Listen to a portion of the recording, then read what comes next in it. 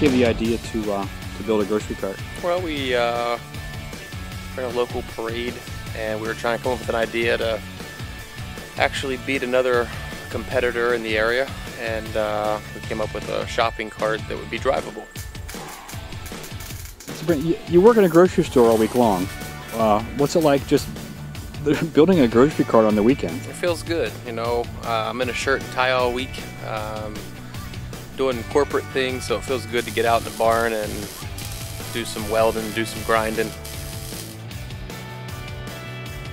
Did you know anything about hot rodding before you started on the cart? Nothing at all. Um, you know, when we started this project, I didn't know how to weld, I didn't know how to grind, uh, no electrical skills. Uh, Google was a big help for me. What was what was the hardest part about building the cart? Grinding, because we didn't know how to weld. Um, so we put a whole bunch of weld on and then uh, had to spend triple the time grinding it off to make it look good. What was the fun part of building the cart? First time we drove it. Uh, when we got it done before it was all painted, uh, we started it up and took her down the road for a spin. So how long did it take to build this? Uh, from the initial idea to actually getting it on the road, probably uh, about two years. I mean, we it took about a year to build it and test it, and another year to tear it apart, paint, polish, chrome, wire, all the, the little details it takes to, to get something running. Uh, that took about another year. So about two years start to finish. That wasn't seven days a week either. No, this that's just working on the weekend. I mean, this is definitely a weekend project.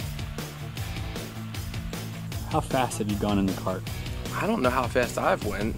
I mean, what do you normally drive the cart at? Uh, if we're on a nice road, I would say 40, 35 or 40. Why why not faster? Um, we should have people in it. It's full of people, so uh, I don't want to get too aggressive with it. It's a little fit. It, it's a little top heavy. It's a little iffy around the turns. Is it, a hard drive? Not really. Once you get used to it, once you drive it for a little while, um, it's not bad. What's the most fun part of driving? Other people's reaction.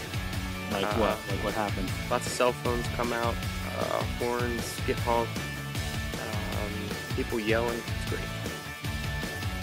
Uh, Calvin, how'd you come up with the design of the cart?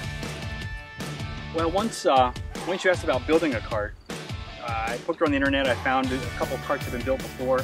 Uh, BRE Rods in Salinas, California built one. Food City had one built by uh, National Cart in St. Louis.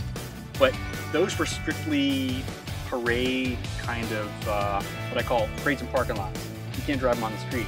And I looked at it and said, well, why, why can't we build something that you can actually run on the street? That would be so much more fun. So from the very beginning, it was all about, hey, can we make this street legal? Uh, so obviously we're not uh, car builders or fabricators. Um, talk a little bit about what we used um, to help us build this cart and resources. Well, again, I, I think we started out by saying we were, we were too dumb to know what we couldn't do. So, you know, you, you say, okay, well, hey, here's a problem I have to solve, or uh, hey, how do I get the steering rod, you know, eight feet long? Uh, there's a lot of people that help from uh, local guys that help us bend the tube, to local machinists who mill the, uh, the fantastic nuts at the top of the shock towers, to online forums, to manufacturers, to distributors. Resources that are available online make building a project like this possible. I mean, I don't think we could have done this 20 years ago, or would have been a lot harder to do 20 years ago.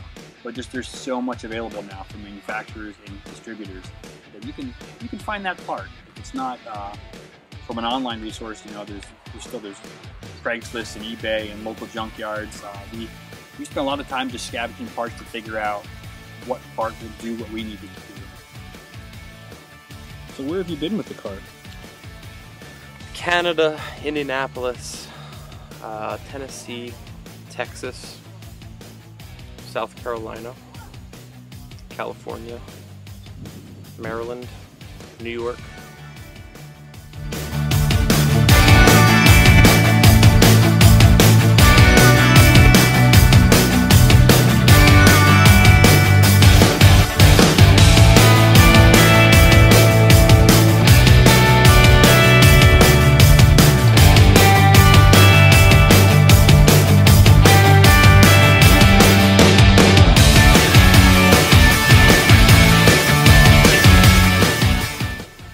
Is this something you would do again? I would do it again. I'm not sure if my wife would let me do it again, but I would. Well, I like that. Well, that tire's really big, and come on the side. and See it here, I like that it goes fast, underneath. See all these things, these lines. and I like that um LED lights, these are tucked the music comes out the speaker. That's what what I like about it a lot. So that's pretty much it.